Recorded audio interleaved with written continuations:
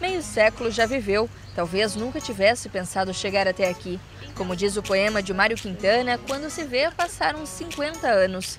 Essa é Balneário Camboriú do século XXI, mas nem sempre foi assim. Difícil reconhecer o município nas fotos dos anos 50 e 60.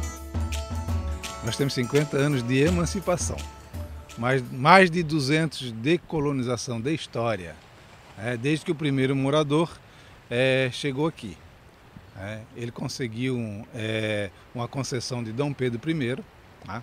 por, por, curiosidade, foi o primeiro despacho de Dom Pedro I, para fundar um município. Ela que já foi comparada a Mônaco, famoso principado francês, e a Miami, o paraíso do luxo, começou neste ponto. Aqui foi o marco zero. Com o advento da República, os monarquistas, que eram o partido da situação, perderam força ah, e eles transferiram a sede do município para a cidade de hoje, que é onde é Camboriú. Chamava-se Vila do Garcia. Isso foi em 1890. Ah.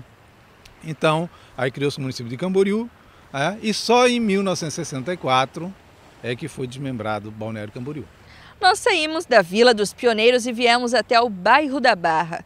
Para se aprofundar um pouco mais na história de Balneário Camboriú, é preciso subir essas escadas até a igreja de Santo Amaro, uma das poucas construções que ainda sobrevive aqui no município. Nem mesmo os historiadores conseguem definir a data exata em que a igreja começou a ser construída.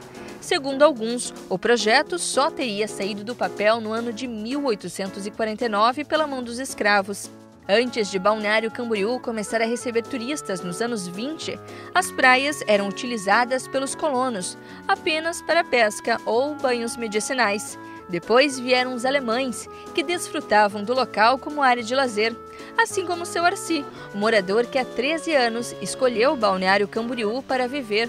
Ah, gosto, gosto de vir aqui olhar para o mar e, e é bom caminhar um pouco, né? Balneário Camboriú está localizada no litoral norte de Santa Catarina. O município, que tem hoje pouco mais de 100 mil habitantes, conta com mais de um milhão na alta temporada. Na segunda reportagem da série, você vai saber um pouco mais sobre o desenvolvimento do município.